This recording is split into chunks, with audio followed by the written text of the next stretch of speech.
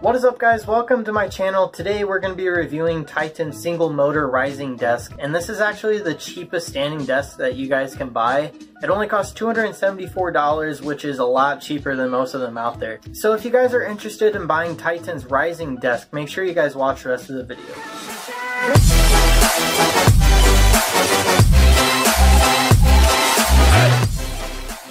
So here is the actual desk by Titan.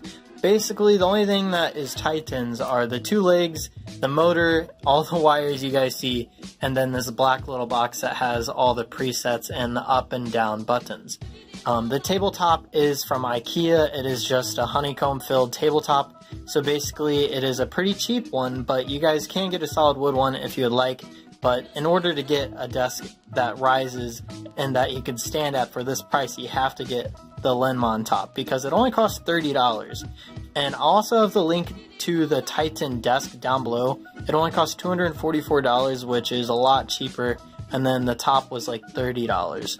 And um, basically, this is like the cheapest combination you guys can get in order to get a standing desk for the price that I found. Um, the quality of this thing is really nice. I was kind of worried because there weren't many reviews on YouTube at the time when I bought it, which was only a few months ago. And um, basically, I was only worried about it not being able to handle the dual monitor setup plus the PC. Um, it handles it completely fine, and in a second I'll show you guys what it sounds like when I rise it. It was pretty easy to set up. Uh, it's kind of weird when you buy it. Um, it's super heavy, but uh, the box itself doesn't have a lot. Like you would think it would be a lot more. It only comes with the legs and then the motor and then that little black box like I said. And they compact that really well.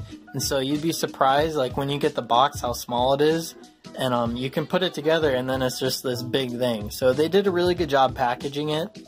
Um, I'm gonna show you the little box here. I don't know exactly what to call it. We'll just stick to the black box. Um, basically you have up and then it shows you I believe how many centimeters it is at now um, I'm not positive on that. And if you guys see the wear here, it's because I actually had to cut this desk in order to make it fit in this kind of small room. And so that's why there's a little bit of wear, but other than that, like I haven't put much wear on this table besides this spot that stands out to me. And I actually have never noticed this until I recorded the video, of course. But anyways, over here we have four presets. I have this one set to my sitting which is at, let's see, 74, and then M2 is my standing preset height. And so if there's another person in your house, it's really nice because you can get their sitting and their standing preset. And I'm gonna be quiet real quick so you guys can hear how loud this machine is. So honestly, it isn't too loud. It does make a decent amount of noise, but it's not like blaring loud. You can obviously tell that there's a motor working and um, to me, it's not annoying whatsoever, but some people like really quiet desk. And this one isn't super quiet, but it gets the job done. And for the price point, you're not going to be able to do any better. And then that is the motor itself. And then this little gray bar is what turns to lift both legs up. And that is something that you'll have to adjust in order to get the space you want in between the legs. So it's really easy to adjust and um, basically you can change this to however much you need or you can shrink it down if you have a smaller desk. So I'm really easy to set up and then in order to mount your tabletop you just put a screw in there and then there's another one that you guys can't really see it's being blocked by a wire. So I believe you only put in like 8 screws into the actual tabletop and then it's ready to go. And then um, I have the RGBs down here just so I can see everything down here so I can light up my cable mess. And this desk is actually really sturdy as well. Um, there's a tiny bit of rock. I don't know if you guys can see this, but uh, it rocks a tiny when you're up here. And I was worried when I was hearing that this desk can rock a little, but um, when you're actually working at it, it's still really nice. It's not really noticeable.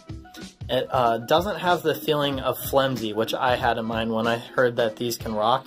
Um, it's just a tiny bit of movement. It has a little bit of give, but um, it feels sturdy at the same time. It's kind of hard to describe.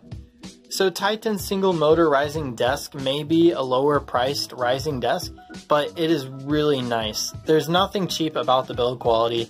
Everything's like solid metal and then the wires are really nice. They're not cheap or flimsy. Um, the only thing that's a tiny bit like flimsy is this gray bar when you extend it really far. I've been using this for seven months and it's never malfunctioned. But if you guys can see, this bar has a tiny bit of give and it's just really thin. And you just wouldn't expect that this bar can just help rise the entire desk, but it does fine.